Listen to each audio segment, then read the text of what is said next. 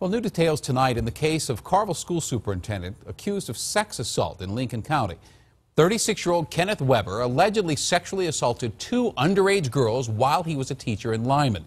An arrest report says Weber repeatedly assaulted the victims at his home and during class trips.